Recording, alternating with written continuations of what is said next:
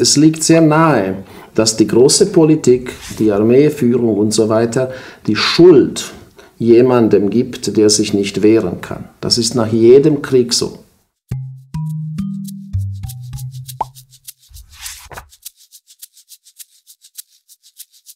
Ein Land, eine Sprache, eine Kultur, auseinandergerissen durch einen blutigen Bürgerkrieg.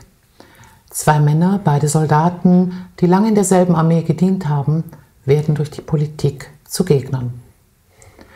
Angeklagt als Kriegsverbrecher treffen sie in Den Haag wieder aufeinander. Das ist die Ausgangssituation vom neuen Roman Der Held von Karl Rühmann. Karl, du warst selber Soldat und kennst die Sprache und die Art und Denkweise der Offiziere wie der einfachen Soldaten. Diese beiden Männer, wo sind das für Charaktere? Ich würde sagen, harte Burschen waren ihr Leben lang Soldaten, haben sehr weit gebracht in der Armee, haben einen Krieg geführt und sind jetzt Gefangene. Das sagt, glaube ich, einiges über sie. Beide sind etwa im gleichen Alter, so um die 60. Sie stecken in einer prekären Situation. Sie müssen sich in Den Haag am Internationalen Gerichtshof für ihre Taten verantworten. Man nennt sie Kriegsverbrecher. Jetzt das ist eine sehr spezielle Konstellation, auf die man nicht so schnell kommt. Was war für dich der Anlass, über diese Konstellation, über diese überhaupt zu kreieren? Also zum einen habe ich einen persönlichen Bezug zu einem Bürgerkrieg, dadurch, dass ich äh, in einem Land gelebt habe, in dem es einen schlimmen Bürgerkrieg gegeben hat. Meine Eltern haben an der Frontlinie gewohnt. Meine Schulfreunde haben diesen Krieg geführt. Das ist das eine. Das andere ist dieser Widerspruch, Kriegsverbrecher oder Held. Das ist sehr nah beieinander. Das sind keine extreme Unterschiede, das sind verwandte Begriffe und das hat mich fasziniert. Gut, Sie kommen ja beide aus der gleichen Armee und werden, wie gesagt, durch die Politik äh, zu Gegnern, mhm. kennen sich vielleicht sogar gut. Mhm. Und plötzlich stehen Sie vor Gericht. Jetzt lässt du zwischen diesen beiden Kriegsgegnern, die sich bekämpft haben, bis aufs Blut, wie man so schön sagt, eine Freundschaft entstehen. Was bestimmt jetzt diese Freundschaft zwischen den beiden? Die ist sehr logisch. Die sprechen dieselbe Sprache. Die haben ein sehr ähnliches Leben geführt, sehen die Welt ähnlich. Es gibt eigentlich keinen Grund, dass sie nicht Freunde werden. Der einzige Grund ist, dass sie halt auf verschiedene Seiten kämpfen mussten. Aber das ist in der Welt der Soldaten eine Nuance. Aber wie echt, echt ist denn dann der Begriff Freundschaft? Ich meine, die hätten ja ohne zu zögern sich gegenseitig umgebracht. Ja, das ist das, was sie gelernt. Das ist ihr Handwerk. Aber so ein General ist einem gegnerischen General viel näher als seinem eigenen Anwalt. Ich würde sogar sagen, als seinem eigenen Bruder weil das die Welt ist, in der sie leben. Das ist eine in sich geschlossene Welt. Also es ist die Welt, die Sprache, äh, das, was man von ihnen verlangt, ist das verbindende Element. Wären Sie denn auch in Friedenszeiten Freunde geworden? Möglicherweise, aber es würde äh, ein entscheidendes Element würde fehlen, nämlich diese Schuld, Heldentum, Märtyrertum, das, was sie im Gefängnis zusammengebracht hat. Erste Risse bekommt diese sogenannte, nennen wir sie jetzt ruhig mal Freundschaft durch die dritte Hauptfigur, Anna.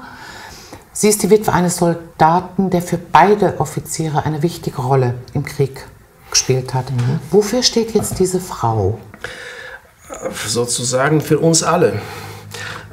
Das ist eine, ein Mensch, der in diesem Krieg sehr viel verloren hat und der sich nicht um die großen Worte wie Freiheit, Vaterland, Kampf kümmert. Und so geht es uns allen, die wir jemanden im Krieg verloren haben. Und ich weiß zum Beispiel, ich habe den Bürgerkrieg in Jugoslawien schon erwähnt, es gibt kaum jemanden, der in diesem Krieg nicht jemand verloren hat. Du sagst, sie kümmert sich nicht um diesen Pathos, um dieses, äh, diese Floskeln. Mit ihr tauchen vor allem dann eigentlich die Fragen nach Schuld in diesem ganzen Setting auf. Und eine Weile sieht sie, sieht sie auch so aus, als würden beide Offiziere sie für ihre Zwecke manipulieren. Mhm. Was ist Anna für eine Person? Eine Kämpferin, auf ihre Art. Sie kämpft ohne Waffen, ohne große, wie du sagst, ohne dieses Pathos und so. Sie kämpft um die Wahrheit.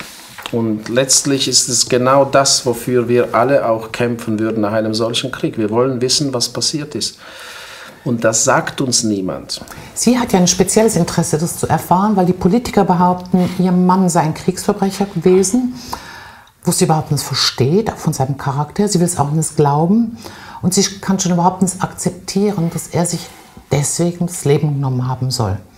Das ist unglaublich raffiniert konstruiert und hat mich sehr beschäftigt. Wie erfindet man sowas? Es ist gar nicht so weit. Äh, wenn es um dieses Thema geht. Ich, was ich meine ist, es liegt sehr nahe, dass die große Politik, die Armeeführung und so weiter, die Schuld jemandem gibt, der sich nicht wehren kann. Das ist nach jedem Krieg so. Und Annas Mann ist tot, kann sich nicht wehren. Anna selbst ist nur eine einfache Frau, kann sich nicht wehren. Also dankbare Opfer. Du lässt ja völlig offen, hat er sich wirklich umgebracht, wurde er umgebracht? Äh, vielleicht kommen wir noch zu dieser, zu dieser Frage. Äh, der General wird freigesprochen und als Held gefeiert. Das ist auch eine sehr spannende Einstiegsszene. Er kommt zurück ins Land aus Den Haag. Der Oberst wird verurteilt. Und du zeigst, wie wenig eindeutig das Ganze eigentlich ist und wie selten einfach nur schwarz-weiß. Jetzt, wie viel ist davon dem Krieg geschuldet? Ja, die beiden Offiziere werden zu dem gemacht, was sie sind, Held, Märtyrer, durch den Krieg. Also sie, sie sind nicht so frei, wie man vielleicht meinen könnte. Der General hat keine Wahl, er wird zu einem Helden gemacht. Und das ist eben das Entscheidende. Ein Krieg braucht die Helden und vor allem die Nachkriegszeit braucht sie auch. Und äh, somit sind die, wie man kann sagen, Marionetten eines Systems, der vom Heldentum und Märtyrertum lebt. Aber kannst du ein bisschen klarer noch vielleicht uns wissen lassen, was macht denn den einen zum Helden und den anderen zum Verbrecher? Ist es Zufall? Weißt du, wenn man so einen Krieg geführt hat, das Volk hat diesen Krieg mitgemacht und jetzt hat man gesiegt und es liegt alles in Trümmern. Das ist ein, der eine Teil vom Volk, genau. das ist das gleiche, genau. gleiche Volk. Ja, aber es liegt alles in Trümmern. Und da fragt man sich, wozu überhaupt das Ganze? Warum ist mein Onkel gestorben? Warum ist meine Frau gestorben? Und die Frage lässt sich nicht beantworten. Es sei denn, da steht einer, der sagt, wir haben gewonnen, ich an eurer Spitze und jetzt wird alles besser. Also so ein Held, der ist darum nötig, weil er dem Ganzen ein Gesicht gibt, dem ganzen Sieg. Vielleicht sogar eine Legitimation? Ja, das braucht es. Das braucht es nach jedem Krieg. Es gibt keinen Krieg ohne Helden danach. Und wenn man verloren hat, dann gibt es Märtyrer. Jetzt haben aber beide Offiziere sind felsenfest überzeugt, das arbeitet so sehr schön raus, in diesen extremen Umständen das Richtige getan zu haben. Mhm. Wie viel Verantwortung tragen Sie eigentlich für dieses Schreckliche, was da auch passiert ist, persönlich? Und welchen Teil müsste die Politik, ja vielleicht auch wir als Gesellschaft übernehmen? Ja, das Problem ist, und das, darum geht es mir auch in diesem Buch über weite Teile, dass die einen, die die Verantwortung ablehnen, sich auf das große Bild berufen. Das würdest du, das würde ich auch machen. Wenn ich sage, ich konnte nicht anders handeln, weil solche Zeiten waren. Die Frage nach der persönlichen Schuld sind aber, die sucht man im Kleinen. Wer hat wen genau wann und wo erschossen? Diese Fragen meiden sie. Also mir geht es in diesem Buch vor allem darum, diesen Widerspruch aufzuzeigen. Wann ist es angebracht, von großen Zusammenhängen zu sprechen und wann müsste man eigentlich ins Detail gehen und gucken, was genau passiert ist. Und dafür steht, du hast es schon erwähnt, dafür steht meine Anna. Sie fragt nach den Details und kriegt nur große Worte auf den Tisch gelegt. Und das ist diese Unehrlichkeit, der großen Politik. Also das heißt, wir brauchen einen neuen Heldenbegriff, weil dieser, dieser Held, der General, äh, im Gegensatz zum Oberst, ist ein lauter, ein gemachter Held. Er ist kein Held von innen heraus, von seiner eigenen Überzeugung, von seinem Charakter her. Genau so ist es. Und wenn wir einen neuen Helden brauchen, dann können wir ihn vielleicht am ehesten in der Person von Anna finden. Sie ist eine Heldin. Der General symbolisiert etwas. Er ist überhaupt eigentlich als Mensch ist er nicht so von Bedeutung für die Politik. Er ist ein Anstrich, den man braucht, um etwas zu übertünchen, was sonst hässlich wäre. Dann lass mich so dich fragen, welche Art von Helden brauchen wir heutzutage? Wir brauchen die Helden, die den Mut haben, die richtigen Fragen zu stellen. Und in diesem Fall wäre das Anna und sehr bald auch der Miro.